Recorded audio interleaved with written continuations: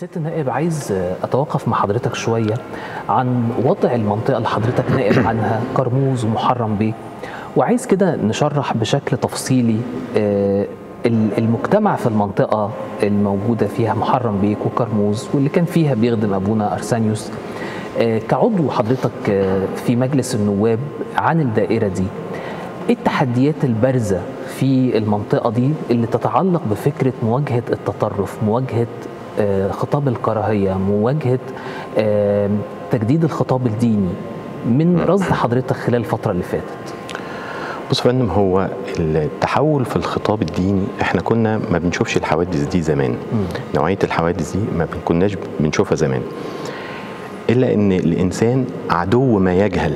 تملي صحيح. الإنسان لما بيجهل شيء بيجهله عن الدين الآخر. آه وما يعرفش أي معلومات عنه فبيبني عليه أفكار ومعطيات بناء عليه بتترسخ عنه من خلال بعض المصادر الأخرى اللي بتغذي آه أي أفكار متطرفة فبينمو عنده شجرة آه يعني سيئة.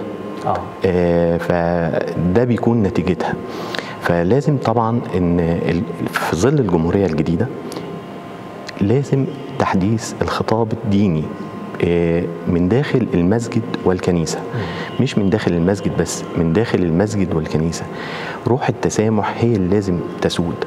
إحنا آه، في منطقة كرموز مثلا منطقة محرم بيه طول عمر الإخوة الأقباط بج- بجوار المسلمين عايشين في في سلام. الكنيسة بتخرج للصدقات والأموال لمساعدة الفقراء ولا تفرق بين المسيحي والمسلم أيوة. وكذلك في بعض ال- ال- المناسبات بيقوم المسجد بتوزيع الحلوى مثلا في بعض الأعياد لا يفرق بين ال- المسيحي والمسلم.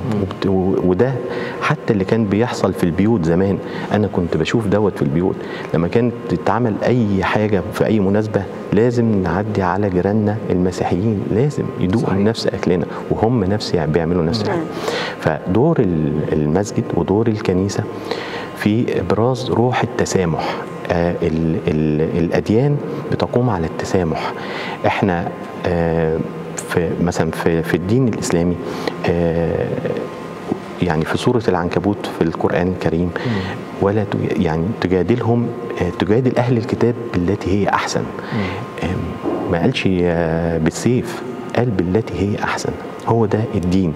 طب هو في سورة المائدة هو كان بيتحدث مباشرة عن الإخوة أهل الكتاب الأقباط مباشرة. لتجدن أشد الناس عداوة للذين آمنوا اليهود والذين آه، آه، والذين كفروا. وأقربهم مودة للذين آمنوا الذين قالوا إنا نصارى. ذلك بأن منهم قصصين ورهبانا وأنهم لا يستكبرون. حط ال ال ال ال الأقباط في في صورة يعني الأخاء والرحمة بأن منهم قصصين ورهبان. القصصين والرهبان اللي أنا بتكلم دلوقتي على آه، الشهيد أرسانيوس وديد آه.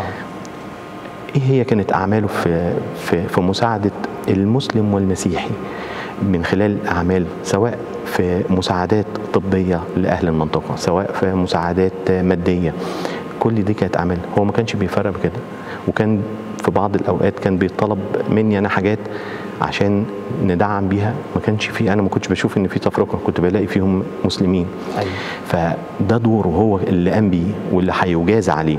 وإحنا كمان لازم ندعم إن الكنيسة واللي يعتلي المنبر عشان يخاطب الشباب ويخاطب الصغار اللي في النشء لازم يكون يعرف في الدين. صحيح. ما بيقومش يعلمهم بناء على تجاربه هو الشخصية أو أغراضه الشخصية.